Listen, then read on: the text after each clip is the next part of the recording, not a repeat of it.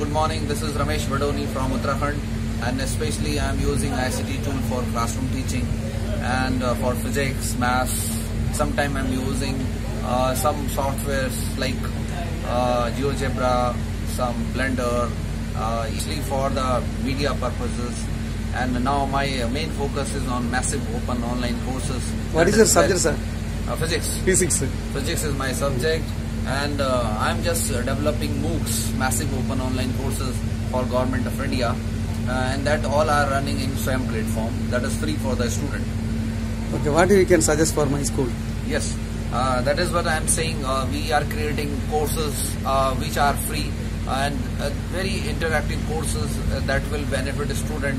If they will log in their at platform, they will release okay, uh, there are all kind of uh, courses, all kind of capsule mode, exper- experiential learning like video and audio, even questionnaires, all are interactive in the form.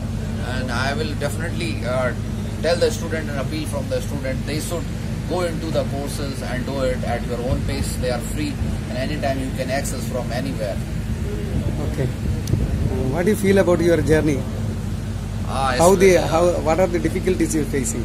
uh, challenges are enormous, sir. That you, you know very well. Uh, its reason is very simple because I am from a remote school uh, that is in hill region, so we do have very uh, much difficulty. Do you have the enough connectivity over No, there? no, no. That's what I'm saying. Internet connectivity is a big problem. Now, a little bit uh, Jio helped us in some cases, but its problem is over there. Uh, at the same time, we do have some hardware problem as well. How the students are responding? Uh, yes, if they are getting information in time and if teacher is with them, uh, teacher is uh, very enthusiastic or interactive with the student, definitely they come up. What you can suggest for the present generation teachers? Uh, yes, excuse me, sir.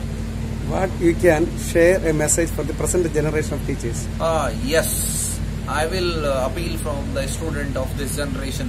Uh, definitely, they they are technology enabled student, but they should cope up with their emotions because emotional intelligence is at par and above than artificial intelligence. So they should not uh, indulge that much in artificial intelligence. Uh, that may kill that humor which is inside us because it breaks teachers and the student. Will you think that the technology can erase the teacher? No, no, no, no, and all the time. But sometime in some cases, as uh, AI is coming up, ARs are coming and VRs are coming up, so it may uh, it may hamper the teaching in classroom. But that behaviorism, that pedagogy, and that emotions definitely uh, will uh, will not uh, be in that phase. It will replace teacher. Okay, thank you, thank you. Thank you, sir.